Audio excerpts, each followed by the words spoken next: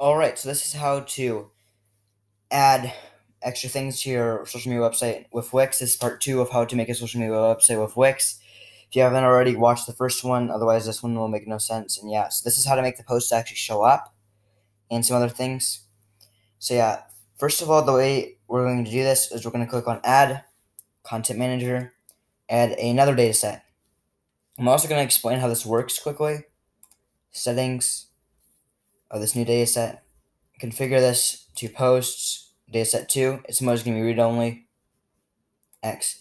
Okay, so essentially, let's say up here is the collection, the post collection, and then these are the two data sets. So what this button, this data set does is its mode is write only. And it's write only. And what that does is these things are also connected to the data set 1 and since you're connected to dataset 1, they're also write only. So essentially what happens when you click the button and actually submit something is this is an input input box. So it you input something, you write what you want to post, and when you click the button, it actually reads what's inside this box and submits it through post dataset 1 into the post collection and now we need post data set 2 because it's a read only. So it uh, what it does is it reads the data from the collection. So every time you post something it gets submitted through post data set 1 into the collection. And whenever you want to read something or whenever you re- reload the page it automatically displays the posts. And the way it does that is it goes through post data set 2 and reads from the collection and then the just displays whatever is the most recent ad- addition to the collection. So hopefully that makes sense. And yeah, now what we need to do to make these actually work is we're going to click on this repeater and we're going to connect this to post dataset 2 connected to post dataset done. Now we're going to click on the text box that's inside the repeater.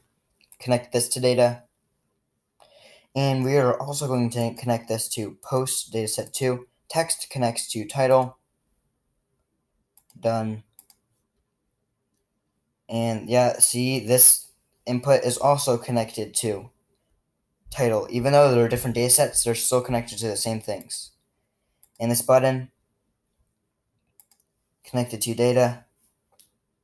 See, click action is submit. It's post dataset 2. I mean post dataset 1 successful, blah, blah, blah. We can click publish, and in theory, it should work now. Sometimes it does take a while for it to actually load. But yeah, see? SS button. We reload. See, it shows up. Okay? I'm also going to figure out how to make it so it automatically reloads, which would be super cool, honestly. Think about it, like, the posts automatically load and show up without you having to reload the page.